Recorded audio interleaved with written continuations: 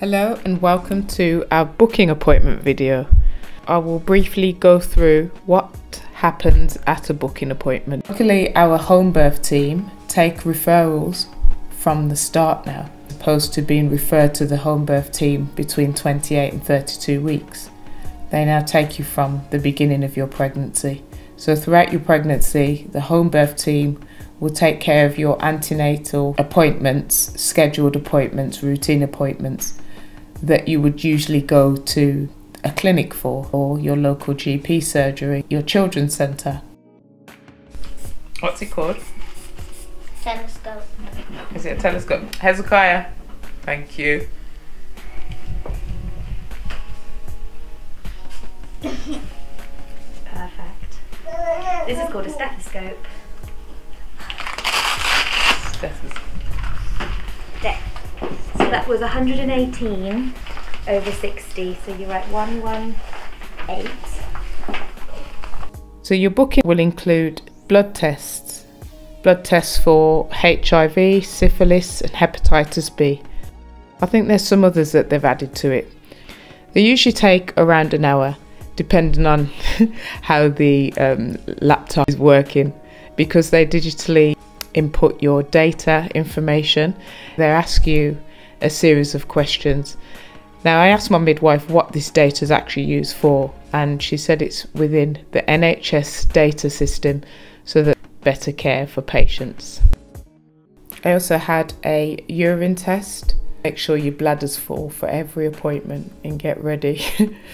the children are very much involved. They take my blood pressure sometimes. Roxy and Terrell seem pretty keen on writing my blood pressure down. Um, it's pretty cute actually. Yes, we're having the um, Doppler, Doppler instrument on my tummy at this point, and um, it might seem like it, it's a bit early because your booking appointment usually takes place between you know eight and eleven weeks, I'd say. But um, as with it all this time around, our booking appointment actually took place at 15 weeks. So the midwife did say would you like me to try and listen for your baby's heartbeat? If you are under, I think it's under 15 or 14 weeks, usually you cannot pick up the heartbeat from the Doppler. It has to be from an ultrasound scan. Now, it took a little while, but when she found the heartbeat, it was strong. it was, as you will hear now. Make it a bit more real now.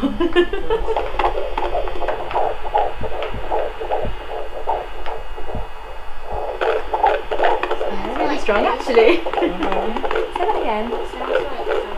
It does, doesn't it? or like a train on the train tracks.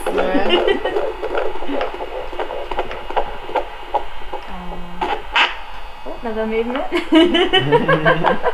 Wow, Fantastic. that's really good. Great. Wow.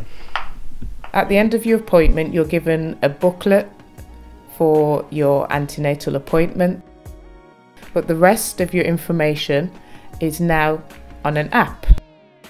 Once you sign up through your app store and you download the app, it's pretty straightforward. They have a week by week diary as well, and you can add a photo, a diary entry, or a reading. So it's nice to watch a video that kind of explains what goes on and what to expect because sometimes we just don't know what to expect even when it's explained to us. It's nice to see it in a video form. So I hope you found this video useful. Thank you for joining us. Thank you for watching. Make sure you subscribed.